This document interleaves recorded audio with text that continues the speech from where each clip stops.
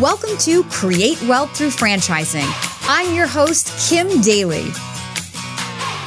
Whether you're a CEO, a military vet, a real estate investor, or simply in career transition and ready to take ownership of your future, with each episode, you're going to learn valuable insights and hear inspiring stories from within the franchise industry. On that note, my guest stories are their own. And as a franchise consultant, I do not make personal brand endorsements or earnings claims, but I do educate, motivate, and inspire dreams. Now, on to the show. Welcome back to Kim Daly TV. Our special guest for you today, his name is Ryan Day. He and his mother have started a franchise called Home Clean Heroes, which for my followers, this brand is not new to you. You've heard other stories from inside the Home Clean Heroes franchise brand. But Ryan's here to share his story of building a business alongside his mom. Ryan, welcome to the studio of Kim Daly TV. Hey, Kim, thanks so much for having me on. I am so excited, all the way from Huntsville, Alabama. So we love to start with your why. So you and your mom building a business together. Let's back up and talk about what was happening in your life and her life when you guys came to the brilliant idea that you should own a business together. Absolutely, yeah. So I'll I'll start with myself. So I've been a realtor for two years now, and coming out of the corporate world into something even like that was a huge leap of faith for me. Okay, it was a big, big change. I moved out of my house, actually back in with my mother. I took a risk, and it really did pay off. I was so fortunate to be able to learn skills like sales and better communication, working with people closer, that kind of thing. It really gave me a lot of life kind of lessons, I guess you could say, that I could apply later on.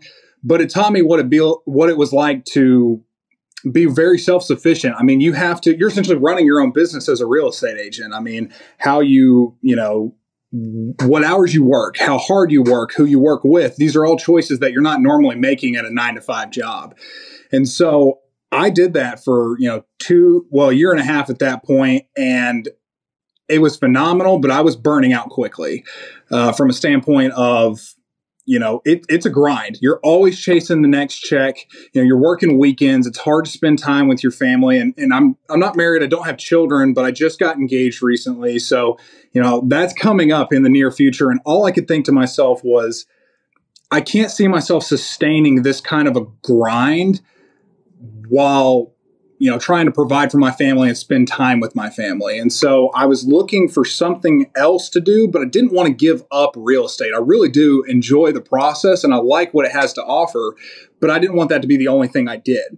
So I wanted something working a little more autonomously and in you know kind of in the background for me that I could kind of just check in on and manage, but not just work myself to to essentially get that that revenue stream if that makes sense. Yeah. So I decided I wanted to start a business that complemented real estate. That way I could still sell homes and work with clients, but also have a business that would help and you know build and work with real estate to, to build each other up. So that being said, I started looking into franchising opportunities because I had no earthly idea how to start a business from the ground up. And I said, well, you know, there's this beautiful thing called franchising where you can essentially pay to have the knowledge and and the experience that all these other different franchisees have had in a corporate location have already worked through. You know, you essentially skip the initial headaches of the startup. It takes a lot of the guesswork out for for the marketing, for you know, essentially mapping out a way forward. Right. And so I started looking into these opportunities, such as like handyman work and residential and commercial painting. But cleaning has a special place in my heart because I was so busy with real estate. I had been working with other cleaning companies because I really love a clean home. I just didn't have the time to do it. And there were a lot of headaches with different companies for different reasons. It's like, you know, either the quality was bad or it wasn't consistent or they had to reschedule constantly on me. So I knew looking at it that I could do this better. Like I can be better and I can route it out better, use technology to help me move forward. You know, I'm a younger guy. And so I really wanted to be able to use what I know to push a business forward. And so I vetted out different franchise opportunities, but cleaning kept coming back to me And especially once I started talking with the Home Clean Heroes team about, you know, how they operate, how they market. Their marketing's phenomenal. I mean, they had me grabbed just from the initial vetting process. I saw their logos. I was seeing, you know, I know this sounds probably kind of silly, but I was seeing their animations on their videos they were showing me. And all I could think to myself was if I'm getting grabbed by their marketing right now just from vetting a franchise out, what are potential customers going to think when they stack us against other companies in my area? That was kind of the thing that kept going through my mind. And so as I was in this process of vetting, my mother started hearing me having these conversations and started asking me questions about this. Oh, well, what's making you want to do this? And what are your thoughts on this? And my mother's retired or was retired at the time. So she worked for the federal government for almost 40 years and helped put me through college. I was very thankful for that. So when I graduated, she decided to take a break as she has earned very, very thoroughly.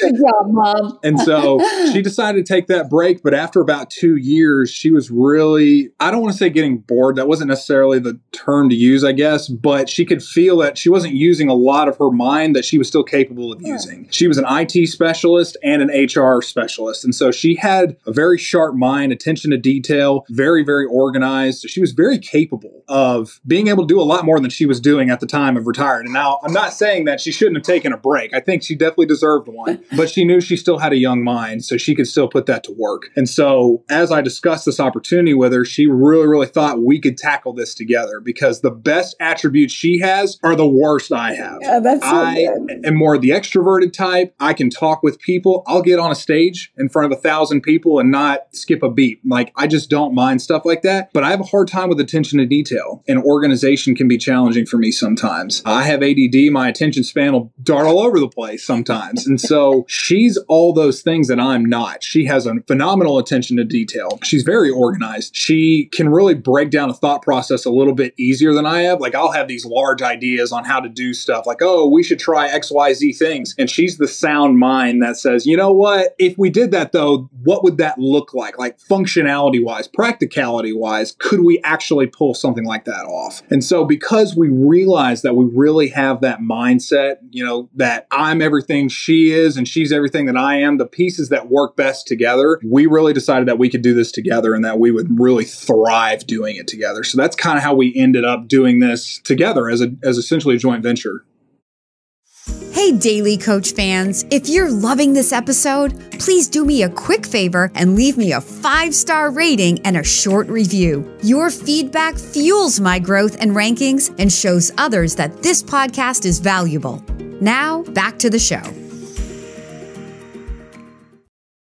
Absolutely phenomenal. So we're going to call that was like an amazing introduction. I wanted to be like, yes, you're in the daily grind for my followers who are sick of me. yeah. But you're in that daily grind. And I love the beginning when you say I went from corporate America to real estate and it was like, you know, learning sales and all these new skills. I, I love it because I love to say that owning a business is the greatest playground for personal personal development. You will learn more about yourself, right? Absolutely. Through owning a business than in any other endeavor you ever do in your life. And you know what, Ryan? To the extent that you pursue that personal and professional growth, then you will have the financial reward, right? The money comes as a result of the service that you're able to offer. But the more you become, the more you can offer. And I love the complementary skill sets between you being the extroverted and the one kind of maybe like more driving the business, your mom being the HR person. Look, a cleaning company at its core is an HR company. So yes. this is an amazing story that I'm so happy to be sharing with my followers. Okay, so you launched your business when? So we opened our doors July 1st. Of 2023? Yes, like four months ago. Yeah. Okay, amazing. At the time of this recording, it's October of 2023. So you're a newbie in the business. Amazing. Yeah, we sure are. We're brand new to the scene. And I have a feeling that you've had a fairly fast start out of the gate, given your ambitious personality.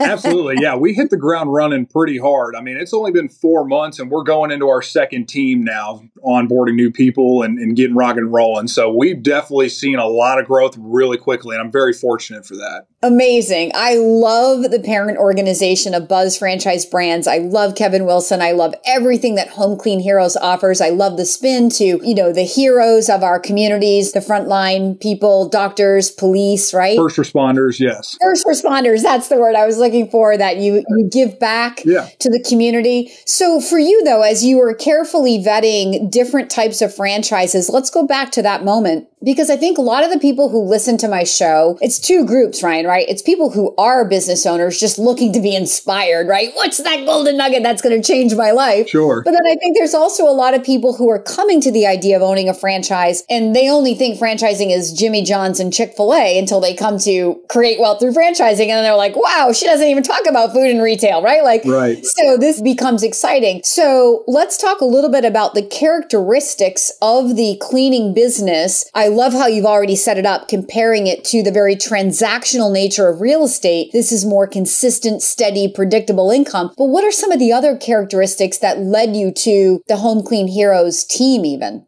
I would say communication is a really big aspect of what makes business business, right? And it's not even from the personal aspect of when you meet a potential customer or client in real estate, that face to face, what that conversation leads to and, and how that goes. It's not even about that. It's about transparency through the entirety of the transaction, you know, through the lifetime of your relationship with this new customer. How much do you guys actually interact with one another? And so for Home Clean Heroes, what they really strive on on is the fact that we want the customer to know when the team is on their way. We want them to know what, you know, an ETA of when the team is getting there, who our lead is. We have the, the same, you know, the same two people go out there every time. So they're very familiar with the cleaners. We train our specialists to really make sure that they're building a connection with the customers. You know, it's not just a transaction. You know, you're entering someone's personal space.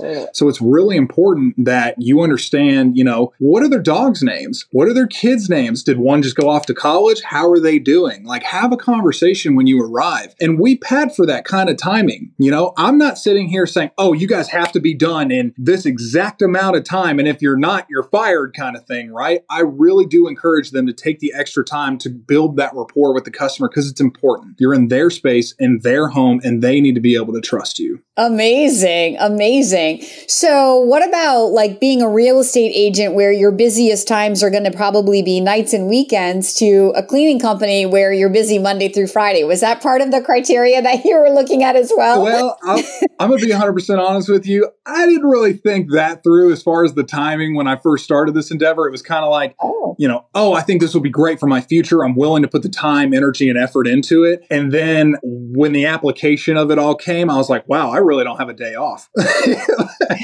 it uh, it, it's you're doing real estate on the weekend still. Correct. Yeah. So it's you know through the week when I'm in the office working alongside Barbara to ensure that you know routing is done correctly, payrolls being ran, the bills are getting done, while also working with the team to ensure you know there's not any problems in the field. That if a customer is upset, that I can speak with them and try and figure out what the problem is, that kind of thing. At the end of the day, usually I'll tell you what a day to day looks like. I'll work through all those kinds of things, and then generally around three to four o'clock, I'll take another two to three hours to prospect potential clients, make calls, and research with current clients I have to see what kind of homes are out there and if we can go see some. Then I'll try to book those showings for Saturday and Sunday. So it's kind of like I'll do all the research up front and work for my clients to, to determine the best course of action. And then we apply that to the weekend time frame. Oh my gosh, this is amazing. So, what I love is that you bought a business that's marketing driven, but you hear him, listeners, you hear him talking about the sales aspect. Like every single business, whether it has a brick and mortar location or it's run through a marketing plan, is a sales organization, right? Where it's owning a business is about serving customers. So, identifying who your customer is and, and having a pure, genuine desire to get to know your customers because people want to do business with people that they get to know, like, and trust. So that's genius what you have your cleaners do when they go in. I mean, I've been a customer of the maids. We don't have home clean heroes mm-hmm. here, but we have a huge, our The Maids franchisee runs a massive business. There's about 30 cars in his parking lot at night, right? Wow. Those little yellow and blue cars. And yeah. I've been a customer for 12 years. I mean, it, wow. I always joke with everybody if I had started a cleaning company 21 years ago, I would not be working today, right? Because right. because of the residual nature. I mean, I'm the ideal customer. They used to come into my house every week when my kids were smaller, but now that I have teenagers and they're not around as much, it's every other week. But you just think about how much money every two weeks they bill my credit card, 160 bucks or whatever it is. Yeah. Right. And that's just residual money over and over and over. And I love those girls. They are absolutely heroes in my life. Right. Yeah. because they're doing a job that single busy mom with two full-time companies doesn't want to do, even when she has the time. That's not how I want to invest that time. So they are heroes in your life. But I mean, going back to my point, I was wondering if like the characteristic of this being Monday through Friday, and I mean, what you're doing on the weekends, you're not going to do forever because keeping customers is easier than finding new customers. And eventually you're going to build that brand name where the customers are going to be able to seek and find you, especially from referrals once you have a pretty significant customer base. I think of all the people I've referred to my cleaning people, and it's a lot of people because right. I'm just happy and they just do a good job. Yeah. So, what are you looking forward to as you mature in this business? Do you think that you will always be involved in real estate with this business, or do you see yourself really just sort of being able to build and scale that repeat revenue that allows you to have this as your singular focus and even over time maybe become a semi absentee owner? Yeah, I think the end goal is always to, you know, you don't necessarily want to buy a job, right? right? You know, especially as a franchisee, I mean, there's there's upfront costs that come along with that. Yes, you save time, headache and hassle to a degree, but that comes with money. And so when you pay in, you know, you don't necessarily want to buy another job. You know, the whole point in my opinion of building a business is to build something that works for you. You know what I mean? Um, it takes time to get there. You definitely have to put the right pieces in place place. And there's a lot of learning that comes along with that as well, which obviously you'll learn along the way. The more you grow, the more things are going to change. But I think the biggest part of this whole process is being comfortable, being uncomfortable. I'm sure a lot of people have actually heard that before, but it is painfully accurate.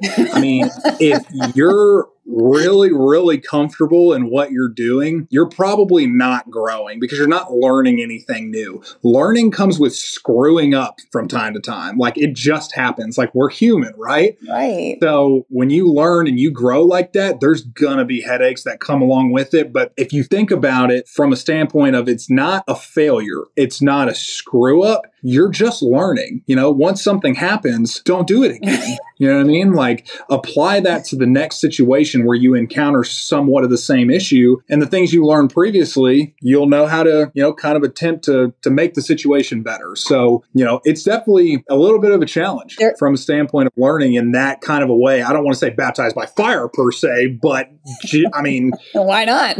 yeah, you just have to you just have to do everything kind of on your own where you figure things out. But with the franchise too comes a great corporate team, at least with Home Clean Heroes anyway. Comes a great corporate team that, that is standing there ready to help you alongside and get you through those tough times. Hey, Daly Coach fans, if you're ready to begin your own journey to find the perfect franchise, please email me right now at inquire at kimdaly.tv. My services are totally free for you. That's inquire at kimdaly.tv. Now, back to the show. So many people believe that a franchise is foolproof or, you know, build it and they will come. And then they get in there and they realize, oh my gosh, I was so wrong. Their expectations were so far off. Yeah. Nobody's going to do this for you. And I love that you're able to admit that, like, you're going to learn more by failing forward in your business. There's a great book written by, actually, did you ever see the Broadway musical Hamilton? I, the guy that, I haven't. Did you my, see it? I haven't, but oh! my fiance absolutely is obsessed obsessed with Hamilton. Okay. It's so funny you say that. So she should audible his book. So he wrote a book. The lead actor who plays Aaron Burr in Hamilton, mm-hmm. he wrote a book called Failing Forward, and it's all about how everybody in his life told him he was crazy because he was not taking all of these acting jobs because he was working with this like the guy that wrote Hamilton on the side, and he wasn't even getting paid to do it, but he he just knew that this project one day was going to pay off, and he he took he didn't take so many acting jobs for all this time because he was putting in free hours to this Hamilton thing, right? And then just talked about all the negative naysayers and just failing forward over and over and over and how many times they had to rewrite and redo and rewrite and redo and failing forward until they got it to what we all know and love today as Hamilton. And I think in owning a business, it's quite the same thing. I talk about my story on my YouTube channel ad nauseum, you know, that I spent the first eight years not doing what you just said. I just kept making the same mistakes over and over and over and over again, which is the definition of insanity, right? Thinking that right. something different is going to be created by doing the same thing mm-hmm. instead of conscientiously or intentionally thinking about why is the customer saying no? Or how could I have set that up better? Or how could I prospect for a better person? It wasn't until my ninth year of business that I really started to say, all right, there's got to be a better way to build a business and intentionally started thinking through. And it only took me 12 months to grow my business three and a half times. I did over 300% more revenue in one year, which was my ninth year of business by conscientiously thinking through my failures. Mm-hmm. So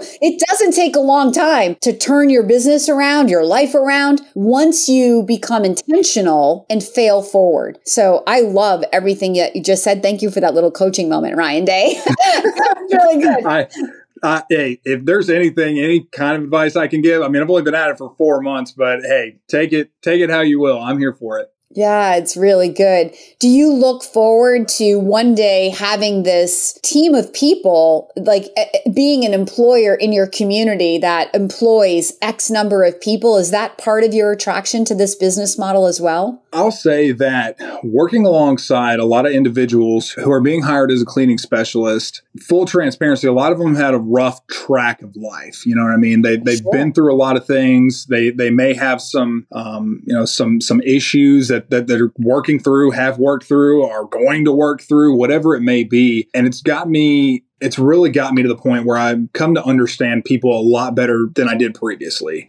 Prior to this, I haven't really walked that closely in life to a lot of people that are at this level, right? And that's not to say that they should be looked down upon for for being a cleaning specialist. That is not at all what I'm saying. I think the work they do is incredible, but it's really important to understand that a lot of these people have gone through some stuff, have gone through some really rough patches in life. And so it's really really important to me that they understand that the things they do here, the work they provide is really really valuable. They're out there changing people's lives. They're giving time back to families to spend more time with each other and to focus on growing their businesses and, you know, making their lives more important and keeping the people that are special to them even closer. So I remind them of that all the time that the work they do is incredible. It's important. And the hard work they do is important. You know, when they've done a really tough day and they've gone to multiple cleans that some have been rougher than others, you know, if they had a customer that was overly picky about certain things, when they endure a day like that, I recognize them for that. I understand that because in my past, for corporate America, my first jobs, you know what I mean? I have very rarely gotten the accolades that I thought I deserved. It's not even about more money. It's not about raises. It's not about prizes, winning anything. It's about recognition. I've never, I won't say never, I've rarely had a manager, a boss, a supervisor of any kind say, you know, just take the time in the middle of the day, say, hey, I understand what you're doing right now is a little challenging, but you're killing it. You're doing a great job. And I just really wanted you to know that. I think it makes all the difference in the world. Somebody could be having a really tough day, like I said, going through something really rough. And to have somebody truly understand and recognize them for the incredible work they're doing, I think is just an amazing overall experience with the manager and your, you know, your employees. You bring tears to my eyes because that's a game changer for those people. And you're, it's so true. It's not about a raise all the time. It's about recognition. It's about being patted on the back, right? We're just humans doing business with humans, right? So that's, that was so beautifully stated. I literally have tears in my eyes. Ryan, I appreciate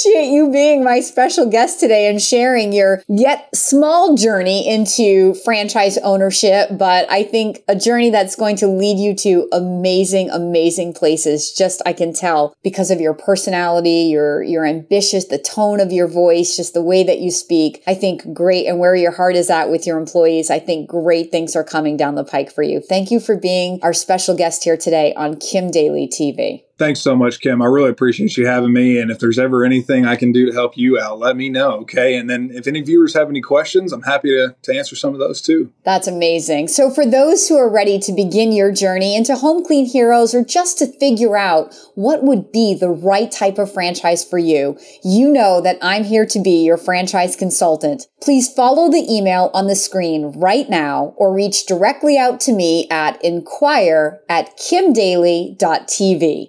That's inquire at kimdaly.tv. And until next time, my name is Kim Daly, and I want to be your daily coach. You can find more content just like this on my YouTube channel at kimdaly.tv. And if you're inspired to take the next step to explore franchises matched to you, please email me right now at inquire at kimdaly.tv. That's inquire at kimdaly.tv.